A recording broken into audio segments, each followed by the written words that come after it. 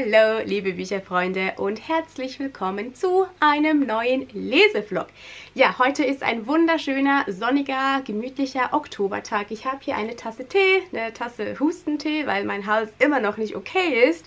Ich habe Kerzen, ich habe Lichter und ich habe Bücher. Die Bücher, um die es in diesem Vlog höchstwahrscheinlich gehen wird, ist zum einen von Silvia Moreno Garcia, Silberne Geister. Das war ein Buch, das ich schon tatsächlich etwas länger zu Hause hatte. Ja, jetzt ist es an der Zeit, das Buch zu lesen, denn in dem Buch geht es um alte Horrorfilme und ich denke, das passt jetzt ganz, ganz gut in den Oktober. Und das zweite Buch, bei dem ich schon ziemlich weit bin, ist The Spell Shop von Sarah Beth Durst. The Spell Shop ist ja erst gerade auch auf Deutsch erschienen. Das hier ist die englische Alcrate-Ausgabe, deswegen sieht die so aus und ihr habt sie vielleicht noch nie gesehen. Aber The Spell Shop gibt es auch auf Deutsch ja, das sind so die beiden Bücher, die ich mir jetzt ähm, zu Beginn weg mal vornehmen möchte. Ich erzähle euch jetzt zu Silberne Geister wahrscheinlich mal ein bisschen mehr.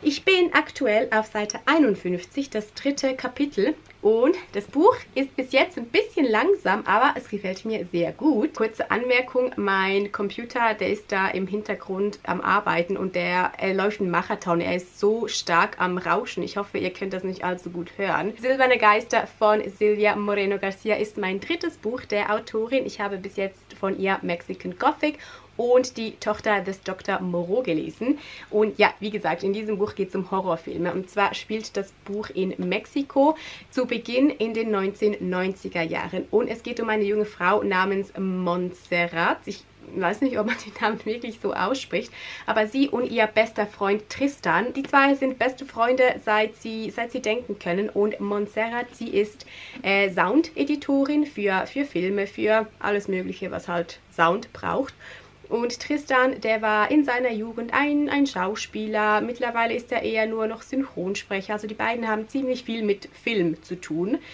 Ja, und die beiden haben eine große Vorliebe für einen einen alten Horrorfilmregisseur, wie hieß der nun schon wieder? Abel Urueta. Und er hat einige von Montserrats absoluten Lieblingshorrorfilmen damals gedreht.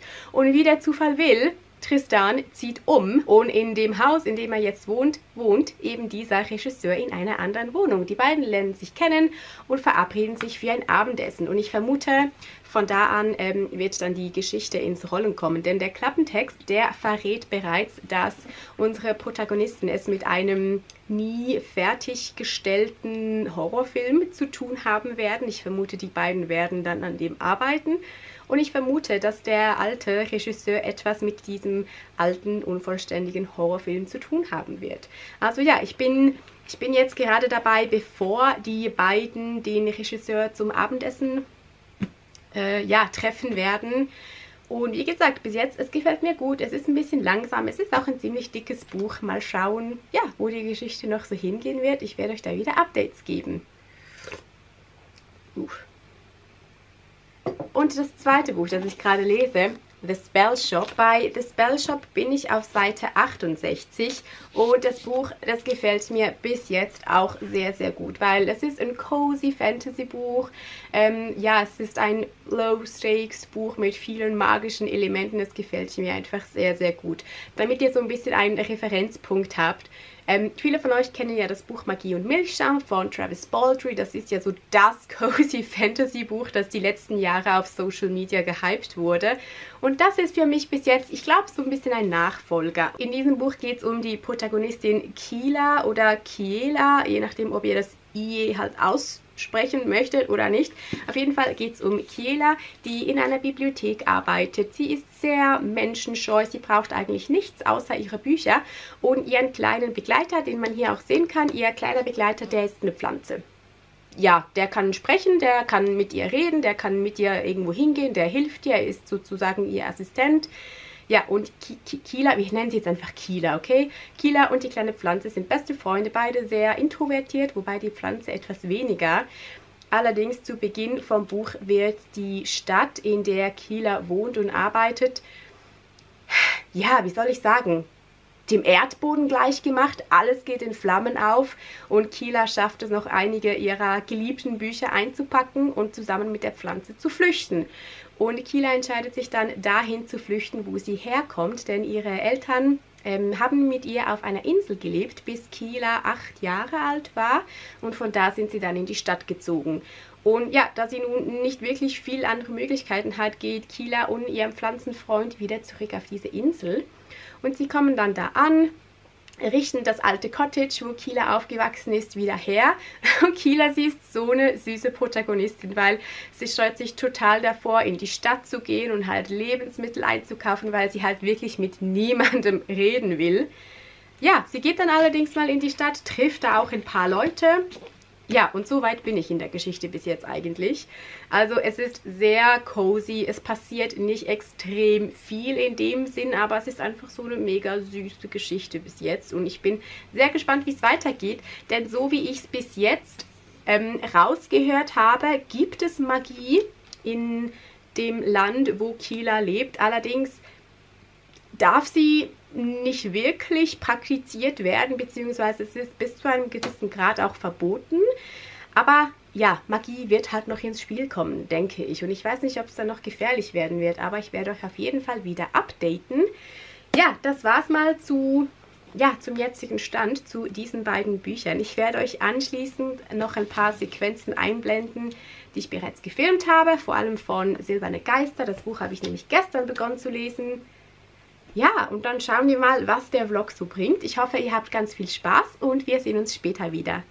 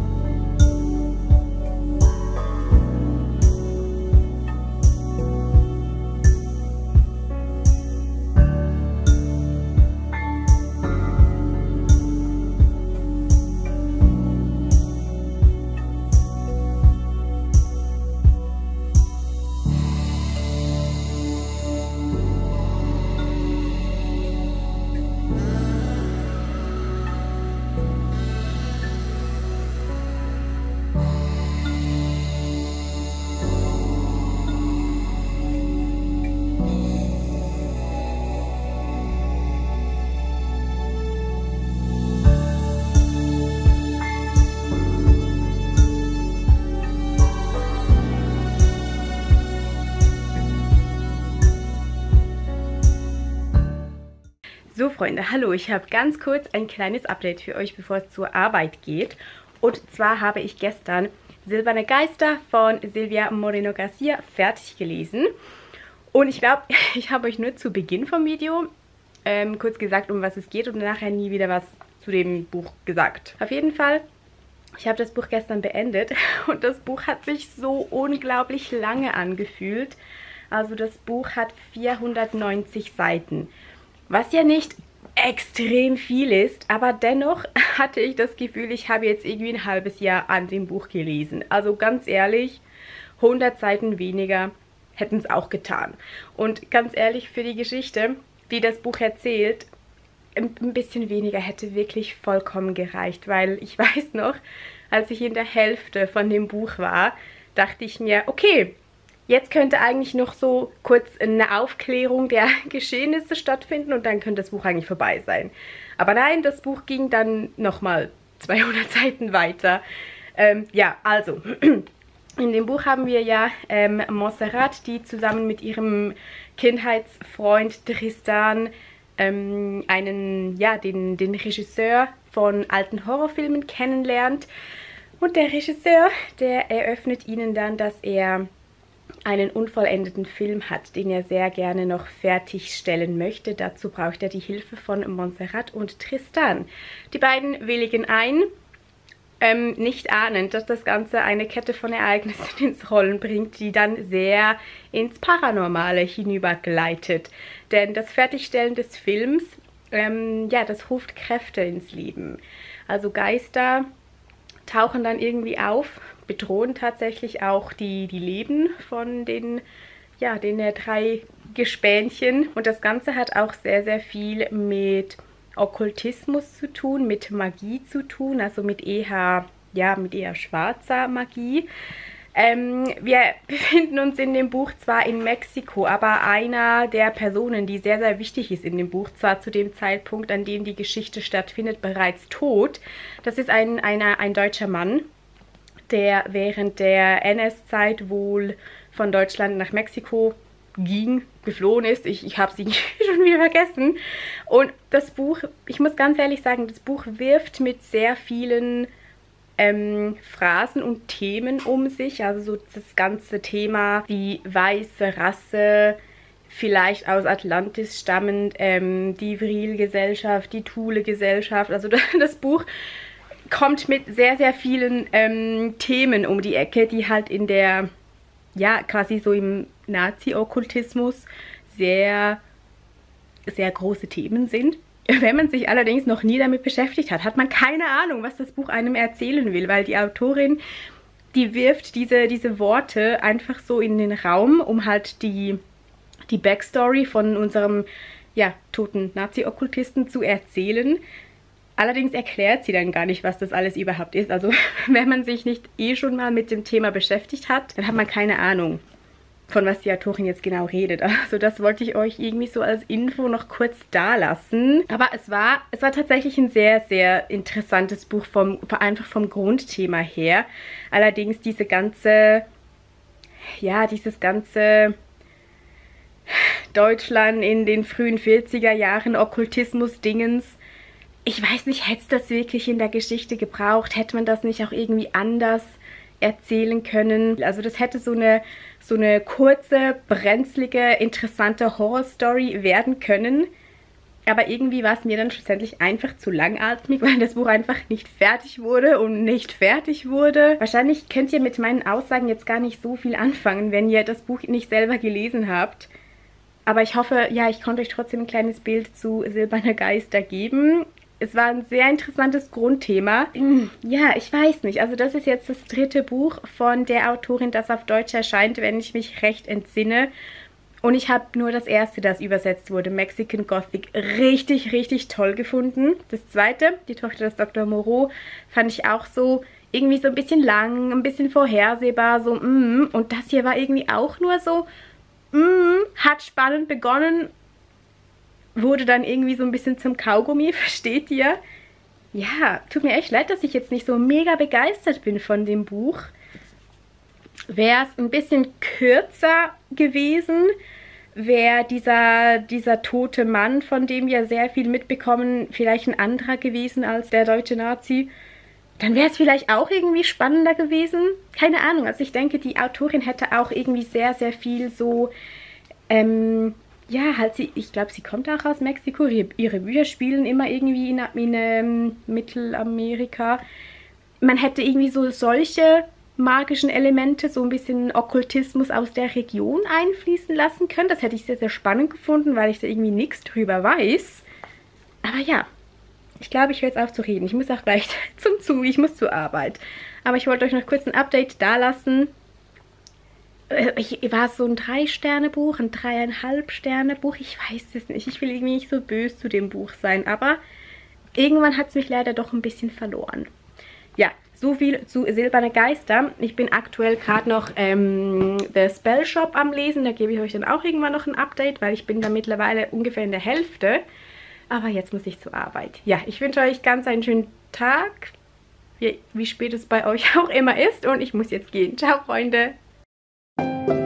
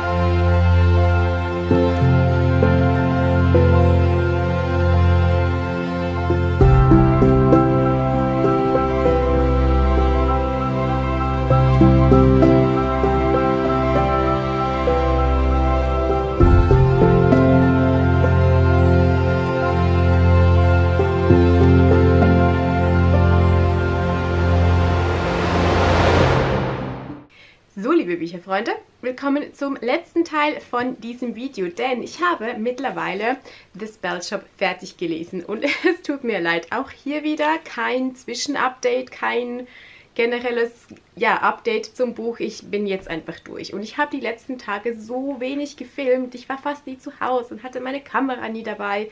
Deswegen war dieses Video jetzt irgendwie einfach so ein bisschen chaotisch. Vielleicht kommt es bei euch nicht so rüber, aber für mich war das Ganze irgendwie ein bisschen chaotisch. Auf jeden Fall habe ich auch The Spell Shop mittlerweile fertig gelesen. Und es freut mich sehr zu sagen, dass mir dieses Buch zur Abwechslung mal wieder gut gefallen hat. Denn die letzten Bücher, die ich gelesen habe, also sicher so die letzten fünf Bücher, die waren alle so eher äh, bis halt Abbruchalarm. Aber The Spell Shop, das hat mir sehr gut gefallen. Und ich habe euch ja zu Beginn vom Video erzählt, wie wir in die Geschichte starten. Also ihr wisst ja ein bisschen, um was es geht. Und ich fand das Buch einfach so gemütlich. Es war wie so eine warme Umarmung. Und wenn euch von Travis Baldry ähm, Legends and Lottes oder Magie und Milchschaum, wie es auf Deutsch heißt, wenn euch das gefällt, schaut euch unbedingt das Spell Shop an. Das wird euch auch sehr gefallen. Denn ja, wir sind ja mit Kila wieder zurück in ihre alten Heimat. Sie ist ja auf die Insel geflohen nach dem Brand in der Stadt. Und auf der Insel muss sie wohl oder übel halt mit den Anwohnern der Insel ein bisschen ja, ein bisschen reden. Sie muss ja Essen von ihnen kaufen. Sie muss halt irgendwie sich da ein bisschen integrieren, auch wenn sie das eigentlich gar nicht will. Aber natürlich sind alle Personen, also fast alle auf der Insel, super nett zu ihr und heißen sie willkommen zu Hause und unterstützen sie bei der ja, Ansiedlung in ihrem alten Zuhause. Und es ist einfach so schön. Natürlich haben wir hier auch wieder so Gefahrenpotenzial. Also wir haben jemanden, der auf die Insel kommt und uns so versucht, einen Strich durch die Rechnung zu machen. Und es wird dann so ein bisschen holprig und so ein bisschen brenzlig. Und die gesamten Inselanwohner, die müssen einfach zusammenhalten, um eine Lösung zu finden. Ja, und das ist einfach so schön, wie fast alle Personen in dem Buch einfach so nett sind und so wohlwollend sind und einfach Kieler helfen. Man möchte sie einfach gerne umarmen. Also wir haben hier auf der Insel ganz viele magische Kreaturen. Also wir haben es dann auch mit See... Heißen sie See nein, es sind keine Seepferdchen, weil es sind halt Pferde, die aber auch zum Teil irgendwie Fisch sind. Wie heißen diese Kreaturen? Ich habe es schon wieder vergessen. Auf jeden Fall, wir haben solche. Wir haben im Verlauf der, der Geschichte dann nicht nur Cass, die sprechende Pflanze hier, die Kielas Begleiter ist, sondern auch andere sprechende Pflanzen. Wir haben geflügelte Katzen. Es ist einfach toll. Also ganz viele magische Wesen ja, die die Geschichte einfach so warmherzig und so wohlwollend machen. Im Verlauf der Geschichte ähm, kommen dann schon noch ein paar Situationen auf sie zu, in denen es so ein bisschen gefährlich wird und in denen halt, ja, sie alle beweisen müssen, dass sie ein Dorf sind, dass sie eine Gemeinschaft sind, dass sie zusammenhalten und dass sie zusammen alles schaffen können. Also ich denke, ihr könnt euch wahrscheinlich eh schon vorstellen, dass diese Art von Buch ein Happy End hat. Ja, es war dann auch so, es ist mega schön, ja, und ich bin wirklich sehr froh, dass ich jetzt wieder mal so ein richtig schönes, gemütliches Buch gelesen habe. Ich muss ganz ehrlich sagen, das Buch, also das hier ist ja das Englische, das Buch hat nur 375 Seiten. Das deutsche Buch, die deutsche Übersetzung hier von dir kürzlich erschienen, ich habe hab das Gefühl, die ist so fett. Also ich muss ehrlich sagen, auch bei diesem Buch, wie auch schon bei Silberne Geister, ich muss ehrlich sagen, ein Ticken kürzer hätte es auch getan. Weil ich finde, so diese Art Buch, also so die cozy Fantasy Bücher, die sind so perfekt, um sie mal zwischendurch zu lesen. Einfach so, ja, um mal wieder ein bisschen gute Vibes in sich hineinzuschaufeln, um so ein Buch zu lesen, das einem eine Umarmung gibt. Aber irgendwie empfand ich das trotzdem als ein bisschen lang. Also ich habe das Buch jetzt, keine Ahnung, gefühlt zehn Tage lang gelesen und das jeden Tag und irgendwie auch wenn die Geschichte mega süß ist und ich mega gerne in der Welt war, in der Kila lebt mit ihren neuen Freunden auf der Insel. Es war mega schön, aber es hat sich eingefühlt, als würde es gar nie enden. Was irgendwie schön ist, aber irgendwie auch nicht, weil man möchte ja noch andere Bücher lesen. Versteht ihr? Also alles in allem, es ist ein Vier-Sterne-Buch. Ich fand es wirklich süß, wirklich schön. Ich kann es euch sehr ans Herz legen, wenn ihr Cozy Fantasy möchtet. Auch wenn es für mich persönlich ein Ticken zu lang war. Trotzdem, es ist mega toll. Und ich glaube, es ist bereits ein zweiter Teil auf dem Weg. Zumindest habe ich im Englischen schon ja das Cover von einem, einem, zweiten Teil gesehen. Also den zweiten Teil, den werde ich auf jeden Fall auch lesen. Es, es, war, es war schön. Es war wirklich schön. Es war eine warme Umarmung. Ich kann es euch empfehlen. Ja, mehr dazu weiß ich jetzt nicht zu sagen. Dementsprechend sind wir am Ende vom Vlog angelangt. Ich hoffe, es hat euch gefallen, auch wenn es irgendwie ein bisschen chaotisch war die letzten Tage. Aber ihr habt das wahrscheinlich gar nicht so mitbekommen am anderen Ende vom Bildschirm. Aber ja, ich danke euch ganz, ganz herzlich, dass ihr zugesehen habt. Falls ihr die beiden Bücher, die wir, also ich in dem Vlog gelesen habe, falls ihr die schon kennt, falls ihr sie auch gelesen habt, lasst mir unbedingt eure Meinungen da, das würde mich sehr interessieren. Ja, bitte haltet es spoilerfrei, falls jemand die Kommentare dann liest, der die Bücher noch nicht gelesen hat und das noch vorhat. Aber ja, lasst mir eure Meinungen da, lasst uns ein bisschen austauschen und dann hoffe ich, dass wir uns im nächsten Video wiedersehen werden. Und bis dahin, macht's gut, liebe Freunde. Wir sehen uns sehr bald wieder. Bleibt gesund und bis dann. Tschüss.